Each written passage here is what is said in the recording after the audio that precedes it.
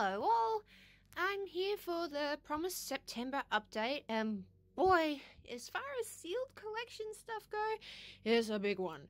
Um, I touched on it on an earlier video that I recently acquired something very special, this folder here. It's a incredibly rare. Uh, even a friend, my friend Remco said that he had actually never seen it. Um, even in publications before now. So that goes to show. but also, Unified Minds came out, as you can see here. I've managed to obtain quite a few sealed items from the Unified Minds collection. I've got the three pack blister pack back there, and also just this lane uh, check uh, lane checkout one, the covered one, the build and battle box, and also, of course, a booster box. Furthermore, I also Hidden Fates came out, and I have to chuckle at this. You guys might get a kick out of it. Um, I got two of these Hidden Fates boxes, one to open and one to keep. The box that they sent me has three Mew boosters in it. Like, I didn't even tell the seller that I liked Mew and collected Mew items. They just sent that to me. So, that's just one of those cute little things that I just love about some sellers. they always send you some of the best stuff. And of course, I've got a unit, uh, Hidden Fates booster loose to keep for my booster collection. I need to find a nice way to organise all my booster packs because I kind of don't like them just sort of laying around in here. And this whole uh, cupboard is getting really full. Um, I don't have anything really else to add in the booster collection. Um, I would also like to announce that I have also hit over 200 subscribers on my YouTube channel. So that's something. I want to thank everyone for subscribing.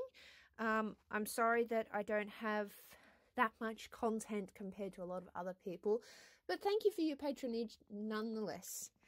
So I will also be announcing the winner of this giveaway today. And my house is kind of a chaotic mess at the moment because I'm renovating. But yeah, I don't have much to announce in the terms of the singles um, department because, well, I've got the Japanese uh, GX cards. Those were easy to obtain. But the, the English versions of the Mew and Mewtwo GX card are ridiculously expensive right now. I do, however, have this Mew promo here um, loose uh, from my aforementioned open box. So that's been included in the binder set.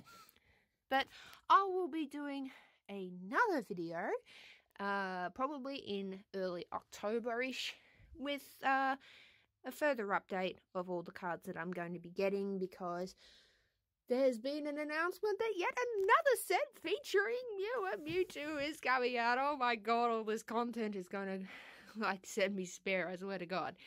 Anyway, uh, on to the uh, giveaway announcement. Hi all again. So, just to make sure no one thinks I'm a cheater, here are all the names of everyone who has entered my giveaway. I'm going to do a traditional pulling it out of a hat kind of do. So uh, I'm going to cut these up. And that way everyone knows that I've been there. Uh, cute cutting montage.